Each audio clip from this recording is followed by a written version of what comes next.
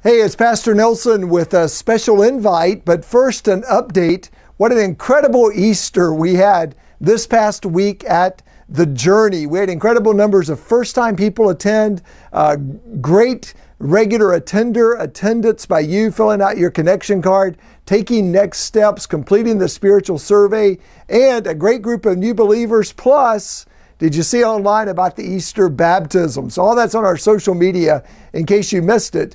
But I'm here to invite you to join me this Sunday.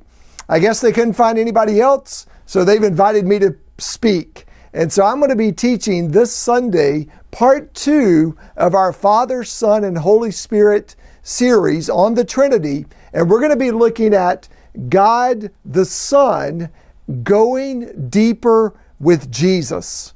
You know, that's number that's one of the top things that we all want in our Christian life. How do I go deeper with Jesus? How do I know Jesus? What does it mean to go deeper with Jesus? We're going to answer all that. We're going to have a little fun. I've got a magic eight ball.